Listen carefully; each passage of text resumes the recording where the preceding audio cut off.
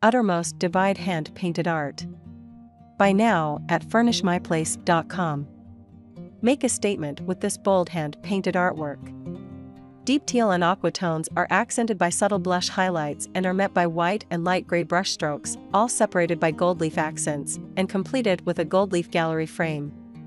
Due to the handcrafted nature of this artwork, each piece may have subtle differences.